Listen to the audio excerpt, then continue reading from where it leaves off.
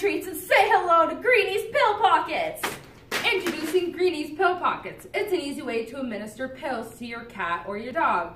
No more having to mix those pills with the food or having to struggle with getting it into their mouth.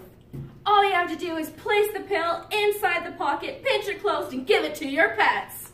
Comes in three different flavors. It comes in chicken, hickory smoke, and peanut butter. Does your pet have allergies? Don't fret. We also carry hypoallergenic treats. Greenies Pill Pockets will even make your pets more active. Your pets will come running.